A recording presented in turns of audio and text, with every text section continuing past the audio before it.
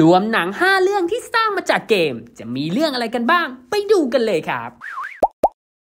เรื่องที่ 1 ครับ The Super Mario Bros. Movie หนังที่สร้างมาจากเกมที่ทำรายได้ไปถึง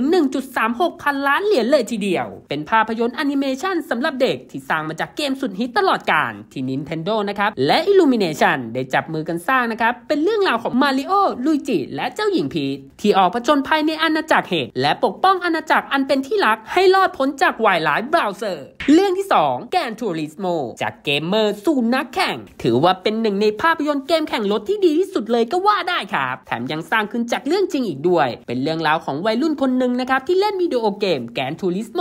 และชนะรายการแข่งขันนิสสัน จนได้กลายมาเป็นนักแข่งอาชีพ เรื่องที่ 3 Pokémon Detective Pikachu เกมชื่อดังนะครับจากค่าย Nintendo อีกเกมที่สร้างเป็น live action เรื่องราวของนักสืบนะครับที่เก่งกาจหายตัวไปอย่างลึกลับ จนทำให้ลูกชายของเขานะครับต้องสืบและร่วมมือกับปิกาจูเพื่อออกตามหาและไขคดีให้ได้ พวกเขานะครับต้องเผชิญกับเหล่าโปเกมอนมากหน้าหลายตา ก่อนค้นพบความลับชวนตกตะลึง เรื่องที่ 4 อันชาเต็ดหนังที่สร้างมาจากแฟนชายเกมประจนภัยชื่อดัง เป็นเรื่องราวของนาธานเดรกนักล่าสมบัติที่มีไหวพริบ และซันลีนักล่าสมบัติรุ่นเก่า และทั้งคู่นะครับได้ออกเดินทางผจญภัยอันตรายข้ามโลก เพื่อตามหาขุมทรัพย์นะครับที่สาบสูญมาแล้ว 500 ปีที่ไม่มีใครนะครับเคยเจอ สามารถรับชมเรื่องนี้ได้นะครับที่ Netflix และเรื่องสุดท้ายนะครับที่กำลังเข้าฉายอยู่ในโรงณขณะนี้ และทำรายได้ถล่ม box office ทั่วโลกไปถึง 130 ล้านเหรียญด้วยทุนสร้างเพียง 20 ล้านเหรียญเท่านั้นเอง กับเรื่อง Five Nights at Freddy's เป็นเรื่องราวของรปภหนุ่มนะครับที่ต้องมาเฝ้าร้านอาหารที่มีชื่อว่าเฟรดดี้แต่แล้วนะครับเขากลับต้องเจอกับสิ่งแ